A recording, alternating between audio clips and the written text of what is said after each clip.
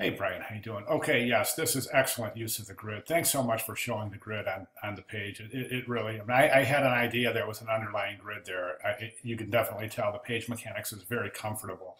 So good job there. Um, yeah, there's a couple of areas in the grid that are, are, are not used consistently. For example, um, you know, on a couple of pages, like for, here, for example, you're placing the grid, the type right where that grid intersection is.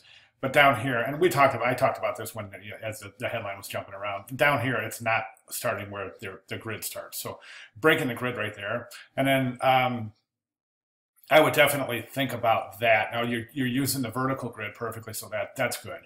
Um, but think about that, and I, you mentioned that when you were talking about uh, consistent placement of your headline. So I think that you're on to that. Um, the idea is to eliminate the staccatic movement of the eye. Staccatic movement is how the it's the, the way when the eye jumps around. That's called staccatic movement. You you really want to keep the eye um, as stationary as possible while while moving through, even paging through a composition. Um, the the viewer becomes uncomfortable when their eye has to jump around. So I think you understand that based on your your video and some of your response there. So okay, the three main questions I'm getting out of your video are this: uh, page headers are uh, page headers. Are page headers a good idea? I think yes, they are. Well, before that, this your uh, subheads are fine. Compelling argument, um, concept, design studies, and design and action. That's fine. That's perfectly fine. Um, and I think it's not a bad idea to uh, to do that. To come over here and and you know do your uh, subheads. Um, to just to kind of hold the subtopics together within the subhead.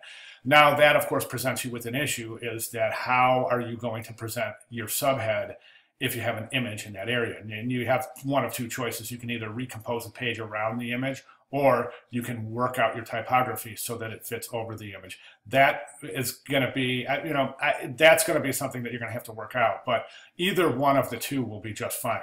Um, and yeah, I do definitely think that subheads are, are, are really a nice idea. Um, watch your hierarchy though. You don't want the subhead to be too big or the headline to be too big, you know, the, the uh, different categories. You don't want those to be too big and then, you know, just to, to suffice the size of that right there. I hope that makes sense. So just watch your hierarchy when you're doing that.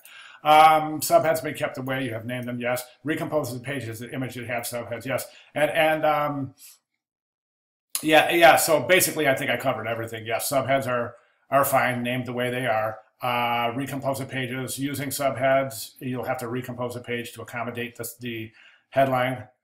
And um, you can keep the names. Yeah, okay. I think I covered everything. All right, man. Hope that helps. Thanks. Let me know.